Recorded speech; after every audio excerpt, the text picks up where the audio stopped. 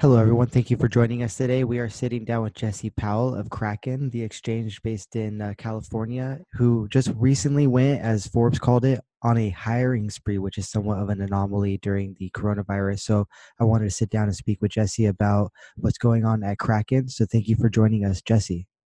Thanks for having me. So could you kind of elaborate on uh, basically uh, Kraken hiring despite the economic downturn and, and why that is, and if it in your opinion, is reflective of blockchain or cryptocurrency traits in that industry? Yeah, so I think the whole industry has seen an uptick in activity in the last uh, two months or so as the traditional markets have gone totally haywire. Um, you know, the economic outlook is very uncertain.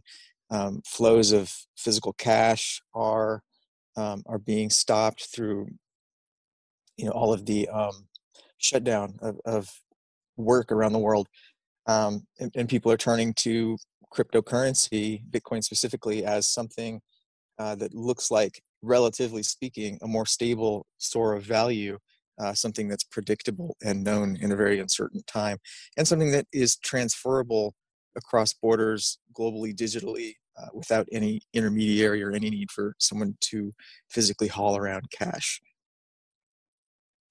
I noticed somewhat of like this initial shock period when uh, the lockdown started in, in, the U.S. in particular. That there, the industry did kind of like come to a standstill in some ways, um, especially the mm-hmm. night when uh, President Trump announced that you couldn't fly in from Europe anymore and all the markets crashed. I think there was like a general mm-hmm. just shock and days almost, and then quickly, uh, my experience like shortly after that, like things really kind of picked up and left off picked up right where they left off, if not even a little more um, kind of uh, busy.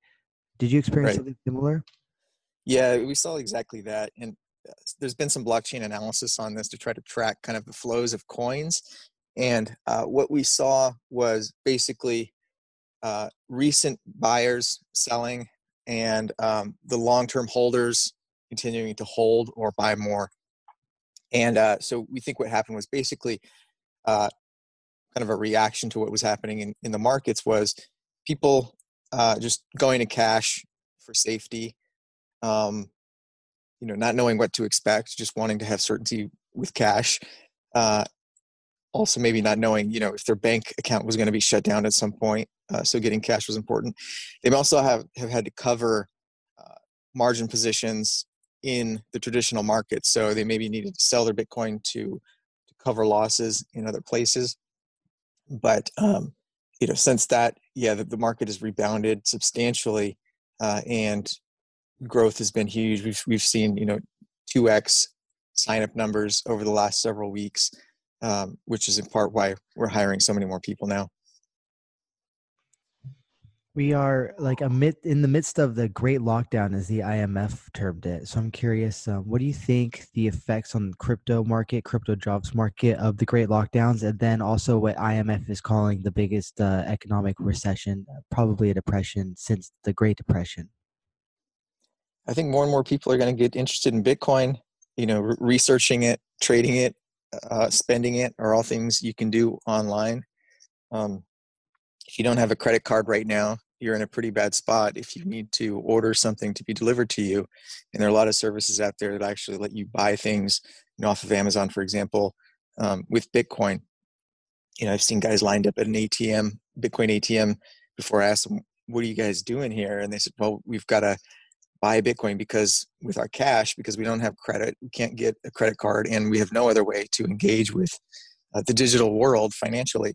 So I think you'll see more people turn to Bitcoin, both out of necessity and just out of interest, uh, having finally taken the time to research it now that there's a problem really at their door and the traditional system seems to be completely breaking down all over the world. Uh, so increased uh, customer demand is going to mean increased business for us and it's going to mean increased hiring. And, um, you know, we've just hired uh, a uh, hundred people in the last couple of weeks. Um, specifically from the company's own uh, members of existing employees' households and close family, uh, all into support related roles. Uh, so we did a super streamlined onboarding, um, super quick. Uh, excuse me, super quick um, uh, onboarding for these guys um, to get them on, and you know, in, in part that's just part of taking care of our of our people, um, and you know, the other side of that is is great. We get to we get to meet this um, immediate demand. Could you elaborate on hiring uh, like uh, close family members and roommates of uh, people who are, were already on your team? I think that's unique. Yeah, that was something we decided to do because, well, for two reasons. One, uh, we felt like members of the household were more likely to um, to be able to vouch, you know, for each other. Two, they in a remote working environment. Having somebody there with you to help onboard you is really useful.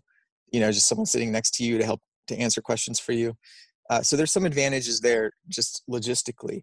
Uh, and then taking care of people's households you know it's it's definitely not in our interest as an employer to have our employees completely distracted with the disaster that's happening um, you know with with a spouse losing their job or a roommate losing their job and you guys have got to now figure out you know how, how are you going to buy food or how are you going to um, pay your rent uh, so you know for us it, it was able we were able to alleviate that pressure which, which we think just makes people more productive in general. You know, they're not going to have those distractions.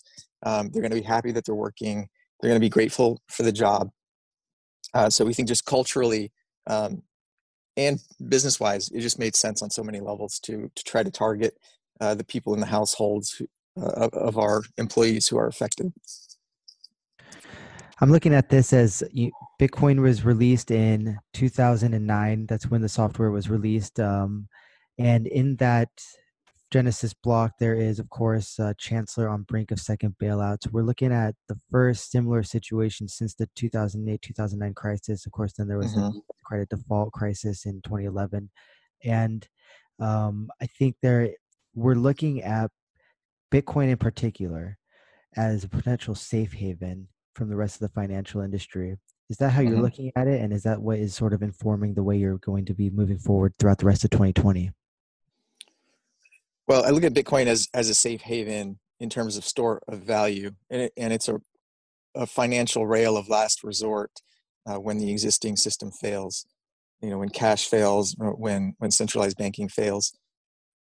Uh, in terms of whether um, you know Bitcoin is is kind of going to going to take over the world of of um, payments or of finance you know, I still think we're a long way off from that, but I do think that this situation is kind of forcing more people to take a look at Bitcoin. There's lots and lots of talks about Bitcoin potentially being like almost a world reserve currency scenario, which I think is like really crazy and also a really loaded notion as well. There's so much like uh, to unpack with mm-hmm. such a concept, but um, it is interesting seeing it be floated. I've I've seen texts that go pretty in depth about like the need for a super supranational currency or whatever. Like the IMF mm-hmm. has tried to uh, issue these sorts of things, and I'm seeing all sorts of like notions about how like if not Bitcoin, for whatever reason, perhaps Libra, perhaps the uh, Chinese uh, um, central bank digital currency uh, mm-hmm. really interesting kind of discussions unfolding and also i think a lot of discussions that um that have a lot of implications that we have yet to hit up against. Um i'm kind of curious could you um discuss uh, what is surprising novel ironic about hiring in blockchain in general?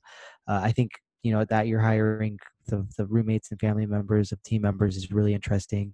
Uh, were you planning on um, perhaps needing to hire in 2020 perhaps because of the halving in the first place, or was the crisis something that really brought this on? Yeah, we we forecasted hiring about 250 people this year, but we added another 100 on top of that. So we we've still got another 150 or so open roles. You can check on our jobs board. Actually, there, there are a lot of unlisted roles um, that are open as well. Uh, so this was basically ahead of schedule. Uh, we weren't expecting coronavirus to drop and all of this uncertainty. We were kind of expecting um, some more activity to come closer to or, or lagging behind the halving. You know, historically, it's been maybe about like six months after the halving that we really see things start to pick up. Um, so that was kind of our plan was more of like the second half of the year to to hire more in the support functions to handle uh, the additional um, user growth. Um, so it's definitely a surprise to us, but you know, it was one more reason to um, the coronavirus thing was was reason to uh, to hire earlier than you know we normally were were predicting we would need to, and more in total. I've seen similar data about the act the activity in the industry really picking up in the months after the halving. And you know, off the top of my head, you I can see us seeing a similar scenario play out here, despite the great disruption that we've seen in 2020. I think that the shock of the six trillion to eight trillion dollar bailouts will have been in the past by the halving and I think a lot of mm-hmm. people probably have moved on with their with their daily lives insofar as they are able to, uh, kind of as we return to normal, or what some are calling the quote new normal and um, so. yeah we can see i think uh, unless there are at least if we have like kind of like a, a, a, slow return to normal life without like increasing lockdowns or like a, a second phase of lockdowns or if um, there isn't another stock crash uh, which might be precipitated by uh, um, martial law scenarios then i could see that the bitcoin halving would play out similar to the past bitcoin halvings I'm curious, could mm-hmm. you kind of discuss being in a remote uh, work environment now and how that transition has gone? Yeah, so I mean, we've we've been a remote first company since the start. Um, we only had maybe about hundred people working in offices around the world um, when coronavirus hit, and we've since um, shut down those offices. I mean, not permanently, they're they're paused. Everyone's working from home now, so it, you know we've got 800 people in the, in the whole company. Um, those 100 people now are also just working from home along with everyone else. So it hasn't been much of an adjustment at all for us. Um, you know, if anything, it's great to have everyone on the same level now. You know, without the office clicks uh, and you know the, the, people that are not in the office. Um, so it's it's been good for us. I mean, we were fully prepared for this, right? We've been doing this. Uh, actually, I've been doing this since 2001.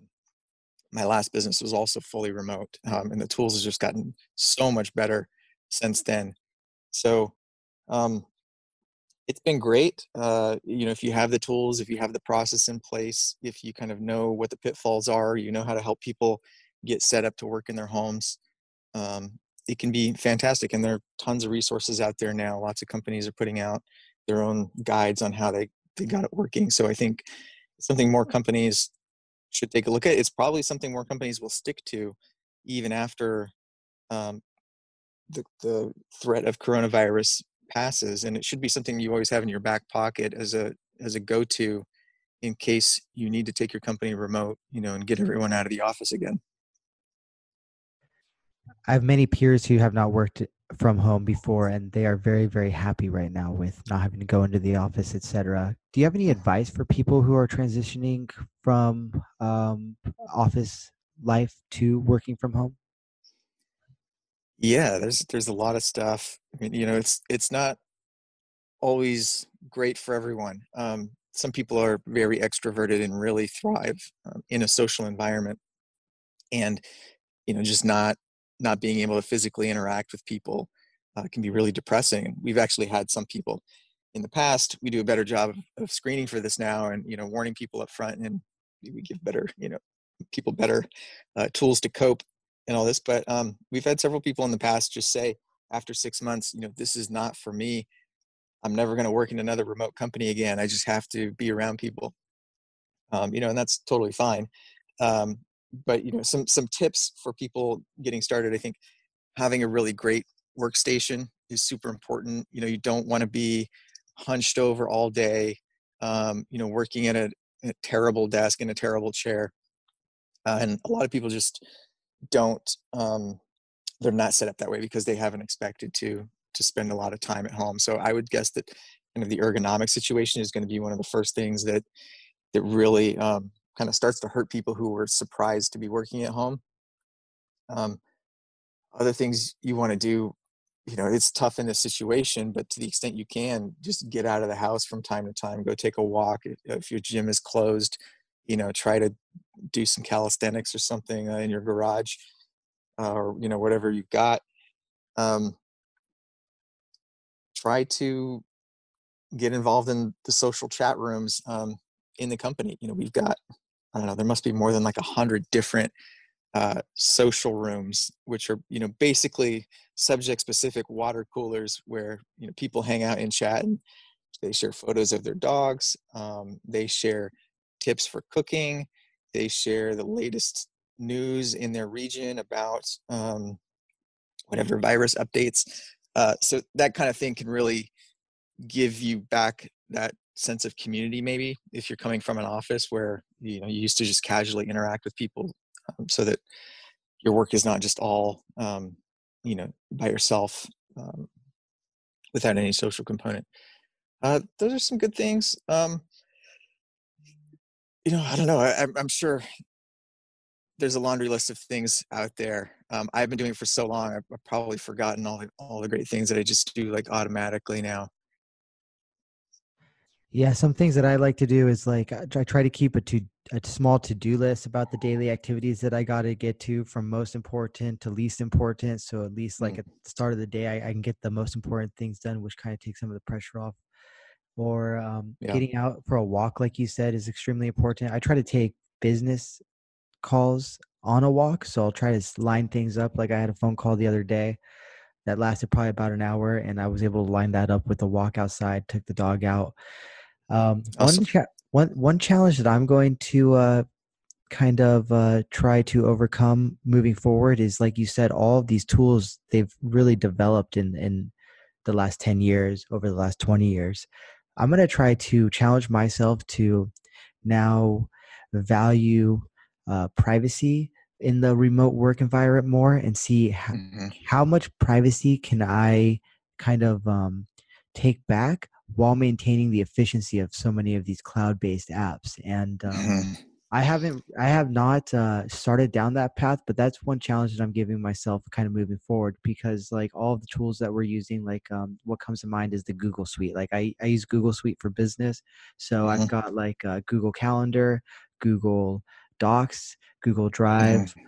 etc and all these things are cloud based so like a challenge would be would for me would be like how can i then maybe uh, not use docs use a, a more private word processor and still collaborate with others uh, how can i uh, really kind of um, seek out alternatives to the cloud which uh, I, it, it the, the ease with which we're able to collaborate on the cloud is probably unbeatable at this point but yeah. we do especially like sensitive organizations hand over a lot of um, a lot of data that perhaps is not as secure as we'd like to believe it is.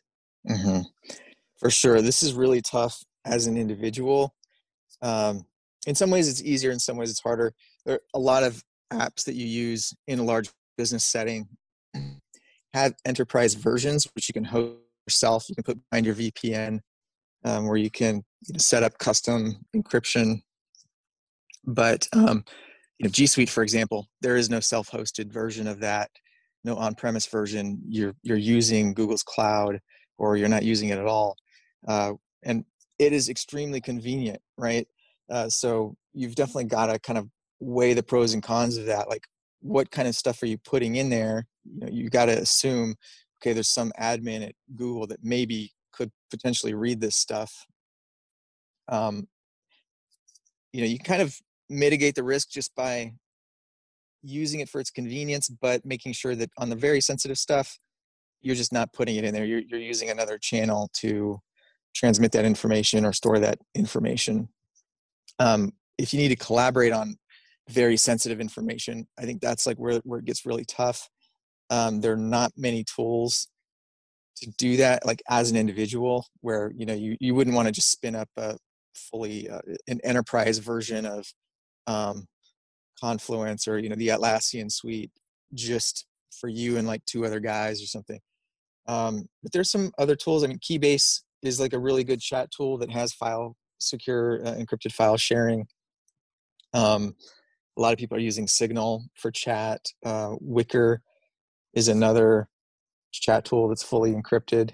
Um, so there's some some great communications tools as far as like collaborating on documents in real time. That's super tough. Um, it's gonna be old school. Like you got to be old school. You got to like save it and then send it as a file, and then that person's got to edit. Man, that's like, yeah, crazy because I mean, the way that's the way it was back in the day.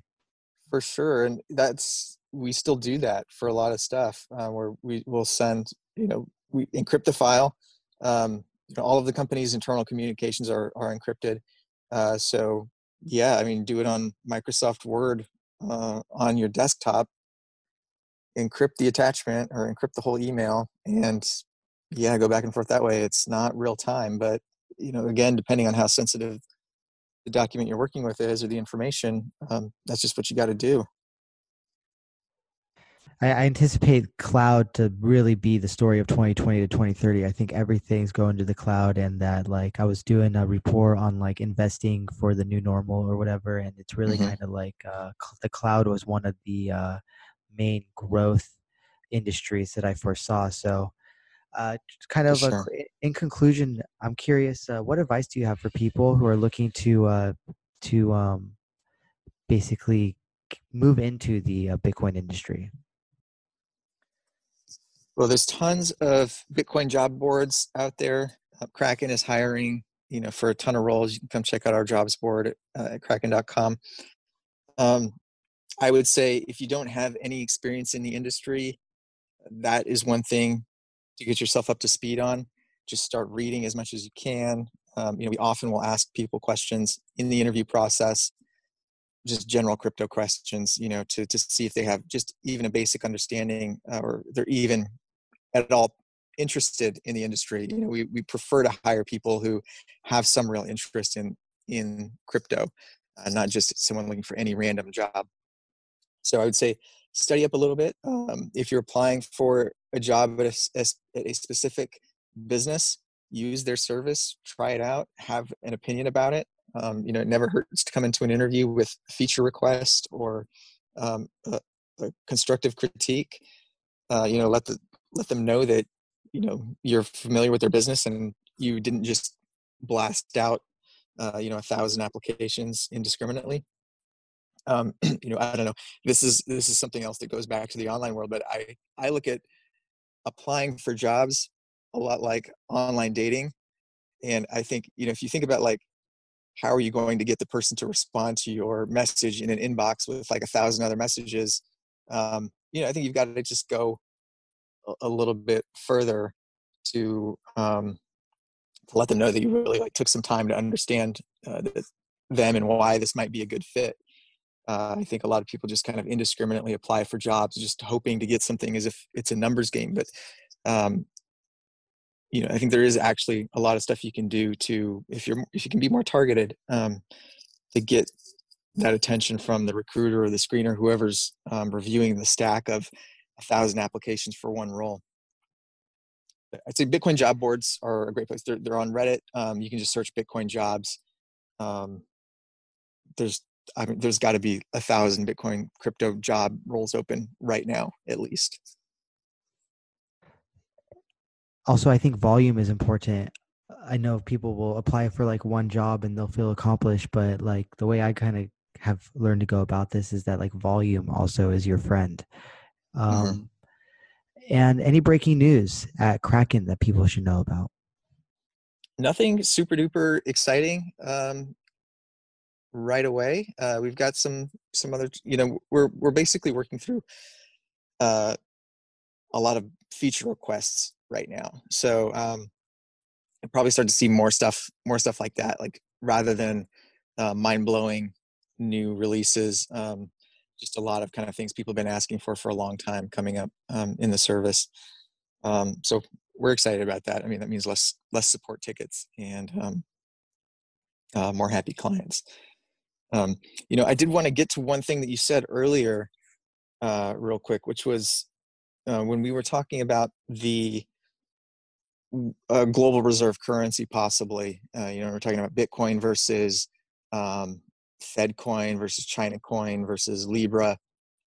you know, Bitcoin is the only one of those things which is decentralized and fully predictable, you know, programmatically, mathematically predictable. And I think that really sets it apart from any other kind of centrally managed or you know a national cryptocurrency. And you know that's important because the predictability factor i think is what people are really looking for in a store of value. They want to know that it's going to have this supply in the future it's going to behave this way. Um, they want to know that it's not possible for whoever issued this coin to just double the supply of it thereby diluting everyone's holdings by 50%, which is kind of what you're seeing now. Um, and I think it's such a currency would be very competitive versus national currencies uh, because um, it's so it's so predictable. Why would you hold a national currency which is completely unpredictable when you could hold this thing that's very certain? Um, but to your point about each country having their own currency, you know, I think I think Italy is is an example of why you don't want to use someone else's currency. Um, you know, I think they're going to be in really bad shape coming out of this. They can't print more money because they're on the euro. And so, what do they do? Um, you know, that's they're going to be in a tough spot. I think the U.S. You know, we're printing tons of money here in the U.S. That affects everyone holding the dollar. Every dollar is going to be worth a little bit less or a lot less. We'll see how this plays out. Um, but at least it's a tool you have as a country controlling your own currency to dilute all the holders of your currency and and redistribute um, you know kind of reshape the pie. But um you know ideally that never happens and and if that cannot happen uh, countries will be forced to plan ahead. There will be no such thing as a as a money printing bailout. You'll just have to keep money in the bank. You'll have to save. You will have to plan for disaster scenarios. You'll have to you know buy all your masks in advance all your ventilators in advance. Um, you'll have to buy insurance on unemployment.